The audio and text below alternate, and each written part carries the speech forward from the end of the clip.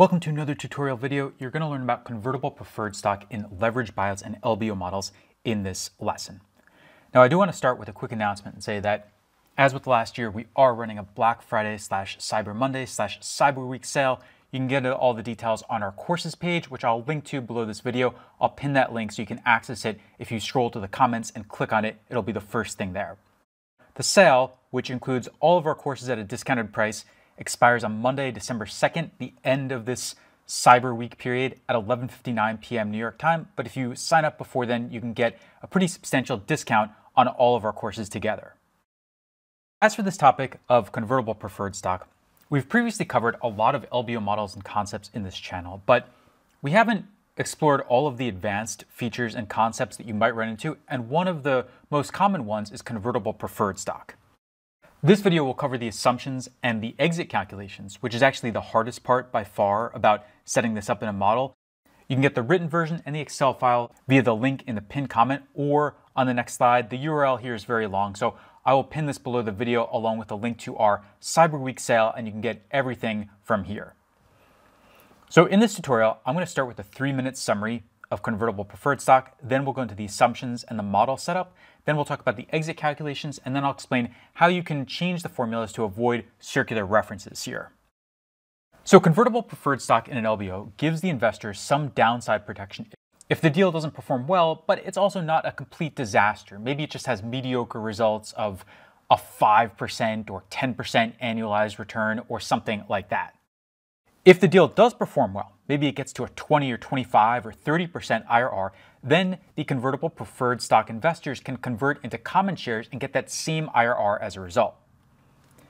Typically, convertible preferred stock has some type of preferred dividend coupon rate attached, which is usually accrued or paid in kind, which means it's not paid in cash. Instead, it just boosts the convertible preferred balance each year.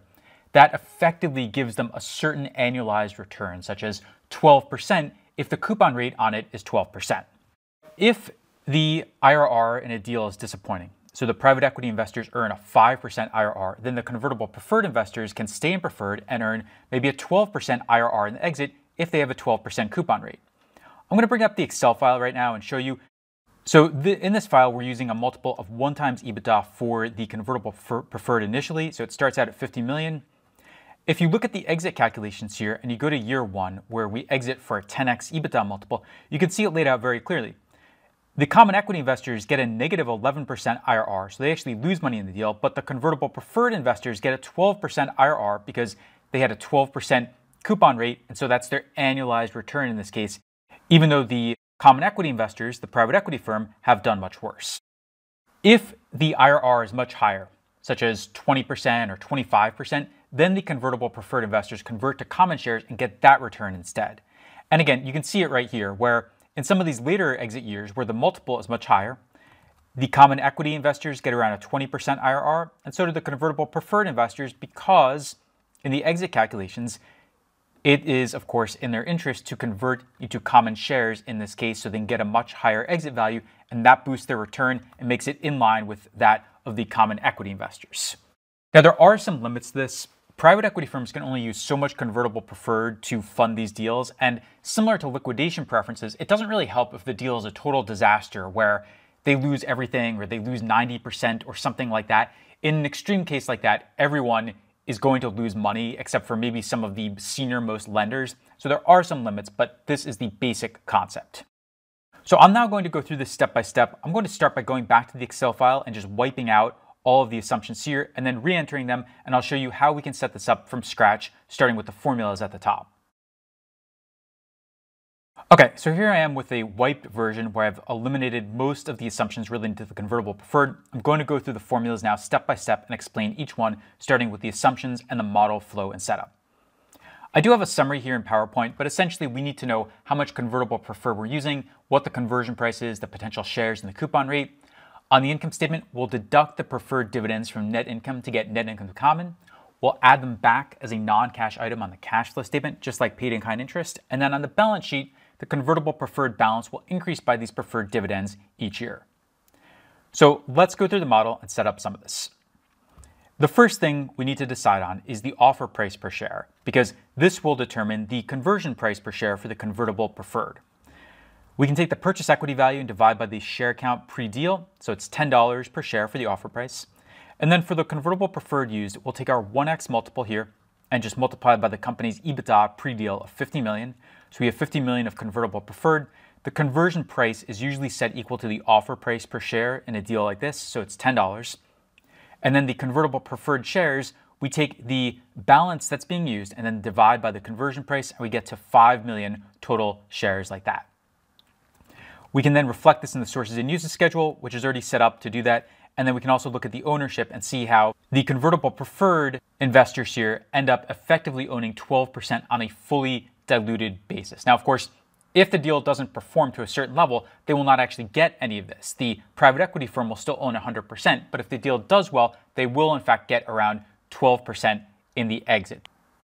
Now, moving down, on the income statement, we have net income here at the bottom, and what we need to do is go to the convertible preferred balance of 50 million and then multiply by the 12% preferred coupon rate right up there. So let's take this copy it across, and then we can subtract the convertible preferred dividends from the net income to get our net income to common. I can tell Excel to ignore these errors. On the cash flow statement, we link to net income to common, and then we add back the convertible preferred dividends here because these are assumed to be accrued or paid in kind. And then we go down, and for the convertible preferred balance itself, we take the old number, and then we simply add the accrued convertible preferred dividends. And so we have that. We can see the dividends here going up each year, but there is no real cash flow impact because these don't affect taxes. And since they're non cash, we add them back on the cash flow statement. So there's really no cash impact from any of this.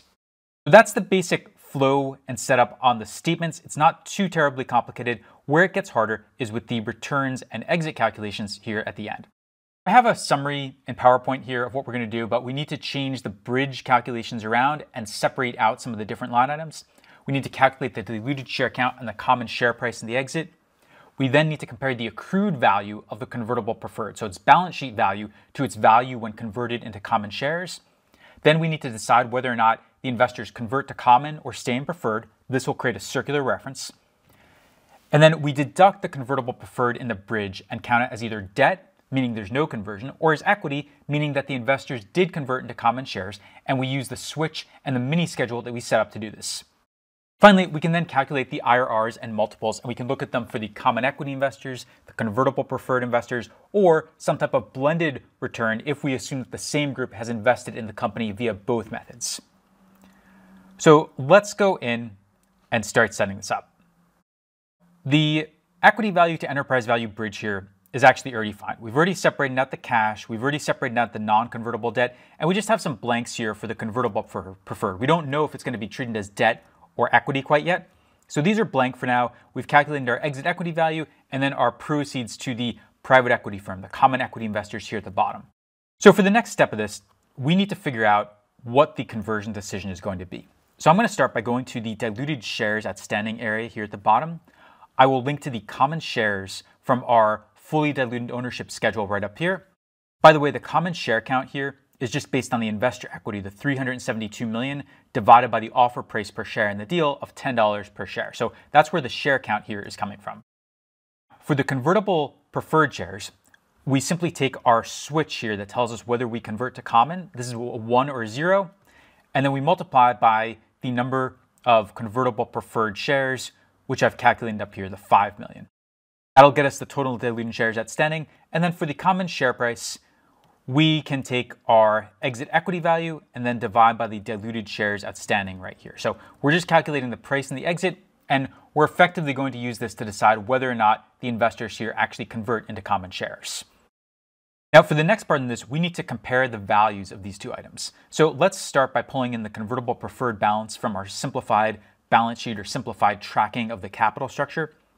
And then for its value as common shares, we will take the common share price down here and then we'll multiply by the convertible preferred share count of 5 million right up there, and we have that. And we can copy this across. And so you can see here how in the first year, they should probably stay in convertible preferred, but then the second year, they should convert to common shares, and then every year after that, they should convert to common shares. So for this switch to decide, it's pretty simple. We just look at the value as common shares, and if this is greater than the accrued value, we convert. Otherwise, we do not, and I'm using ones and zeros to represent this decision. Now this creates a circular reference, which you can tell via the calculate label at the bottom. So you'll want to go into Excel, Alt-T-O for the options menu, or Command comma on the Mac, go to formulas, and then make sure enable iterative calculations is checked for this part. This creates a circular reference because whether we convert depends on the share price, but the share price depends on the diluted shares. The diluted shares depend on the conversion decision. So we get a circular reference here cropping up. I will copy this across for now, and you can see how it correctly detects that we should not convert in the first year, but then we should convert in every single year after that. And now for the last part, treating this in the bridge. So we want to take the accrued value of the convertible preferred if we're going to count it as debt and then multiply by 1 minus the switch right here. So this just says that if we don't convert to common, then we do want to count this as debt in this bridge and subtract it right here. But if we convert to common, then we don't want to have anything here, so this will just be 0 in that case. And then for the treatment as equity, let's take our value as common shares and then multiply by the conversion switch once again. Copy this across, copy this across, and so we have that. And so you can see exactly how it works. We do not convert in the first year, but we do convert in every single year after that, and that handles it correctly. And then you can go down and see the IRRs and multiples that I showed you before. So that is how this works. Now there is one other issue here, which is that we do get a circular reference here because of the relationship between all these terms, where we need to know how many shares there are to decide whether or not the conversion takes place, but whether the conversion takes place also depends on how many shares there are. So circular references make models less stable and more difficult to modify. And so if you have them in a model, you always want to build in the option to disable them as well. Here, one trick for doing that is that we can look at the initial investor equity, the initial common equity, and then escalate it at the rate of return on the convertible preferred stock, and then compare that number to the exit equity proceeds, assuming the convertible preferred is treated as debt.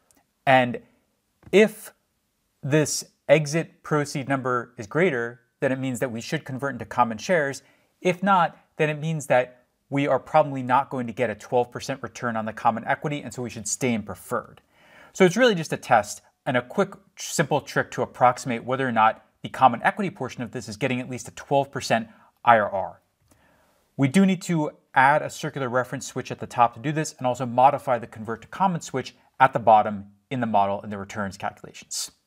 So let's go back into Excel now right now this part with circular references allowed is set to 1, but it's not actually linked to anything in the model. I'm going to change this to 0 for now so I can show you how the removal process works. And then let's go down to where we have the switch for convert to common. This is okay if we have circular references enabled. So let's do a check in the beginning and I'll say if circ ref, that named cell that I just set to zero.